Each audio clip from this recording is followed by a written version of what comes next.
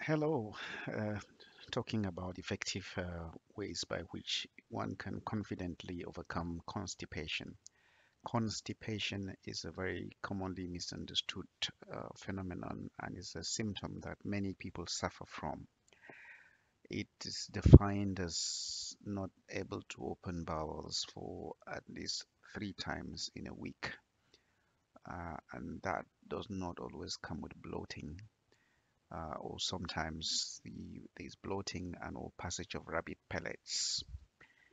Uh, this is something that distresses quite a number of people and I am going to present to you a few ideas on how to actually cope with this. What is it? Constipation is simply defined as inability to open bowels or poo for at least three episodes within a one week period. The bowels are large, dry, lumpy, or appear like rabbit pellets.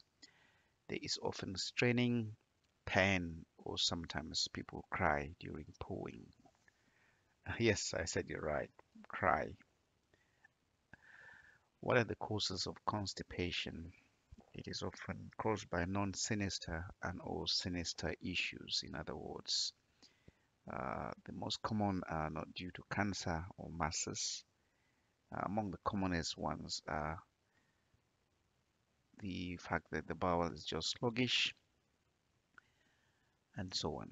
I ignoring the urge to visit the toilet leads to increased absorption of water by the large bowel, thus leading to excessive dryness of stools. Inability, uh, sorry, inactivity and lack of exercise can promote constipation. Depression as well, that is our moods, anxiety and stress can alter the bowel.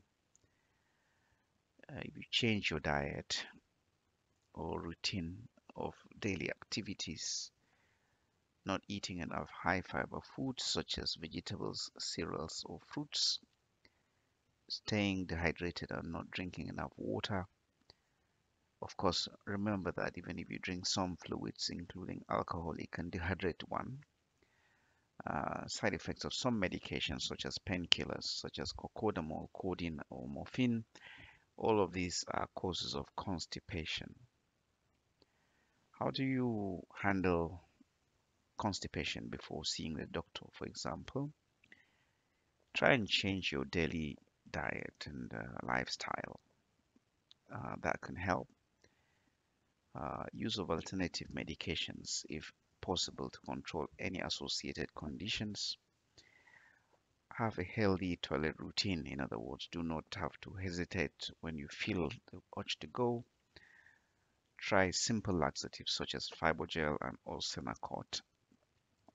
Seek medical attention if you are not able to uh, get better and or if you have what is described commonly as red flag symptoms. I will talk about these red flag symptoms later on.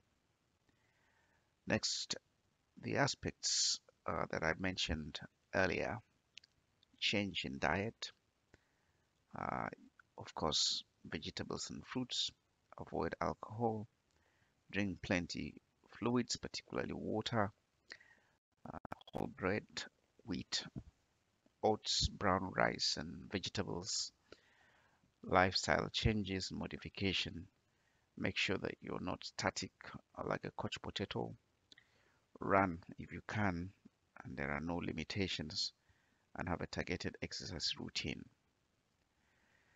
Ensure that your toilet routine is maintained. Unless there is no place to have a bowel motion, do not delay going once you feel the urge to have a poo. Rest your feet on a low stool while on the toilet seat. This presupposes you use the water system, water closet rather, and raise your knees above your hips. This is the anatomical convenient position that ensures a straight rectum and which is that part of the bowel that is before the anus. I did mention about red flags, and these are some of them that I bring out to your attention. Seek a consultation for your constipation if these are present. If use of simple laxatives do not improve your symptom, and your constipation is new onset, particularly when you're above 45, lasting beyond a month, uh, presence of blood in your poo is an important symptom of concern. Unexplained weight loss as evidenced by the need to change your clothes size, actual weight measurements, and or comments from your family or loved ones. Uh, whenever there's extreme tiredness and fatigue, that is an important point. point, and or you suspect that some of the medications you're taking may be responsible for the constipation. Right, so this is just a graphical uh, demonstration of foods that may be relevant, uh, which you can go for. Water, yogurt, pulses, broccoli, prunes, grapes, whole wheat bread, flaxseed oils, and wheat bran. What will happen if your constipation is left untreated?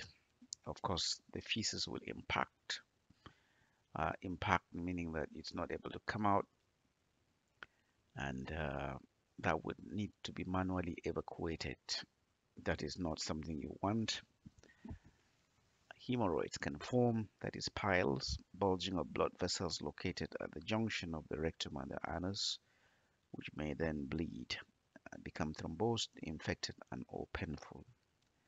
There may be overflow diarrhea, in which case there would be loose stools which will seep around hard bowel motions, which may then present as diarrhea.